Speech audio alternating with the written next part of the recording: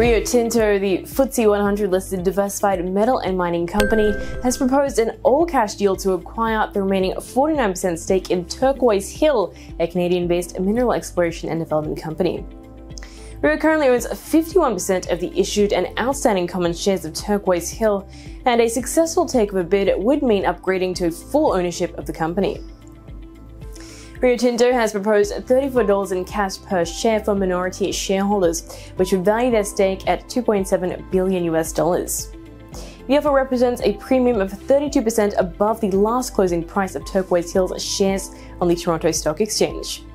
The company said the planned takeover bid would help minority shareholders realize a robust, immediate, and specific value for their shares. On top of this, the all-cash acquisition deal would help to simplify the ownership structure of the Mongolia-based Oyu Tolgoi project, which has the largest deposits of copper and gold. At the moment, Turquoise Hill holds a 66% stake in the Oyu Tolgoi project, while the remaining 34% stake is with the government of Mongolia, making Rio Tinto an indirect beneficiary of the project.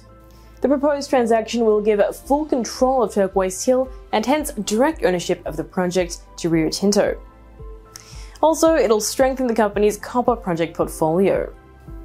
Rio Tinto posted excellent business performance in 2021, supported by a consistent rise in commodity prices amid a post pandemic economic recovery and high demand for metals across different industries. As a result, the company's consolidated sales revenue increased by 42% to 63.4 billion US dollars, while its profit after tax was up 116% to 21 billion. Following a revival in business performance, the company's total dividend payout stood at 577 pence per share. Meanwhile, following the Russian military attack on Ukraine, Rio Tinto plans to terminate all business operations in Russia. However, the company has a minimal exposure to Russian territories, and termination of business operations will have a minuscule impact on the company's revenue and profitability.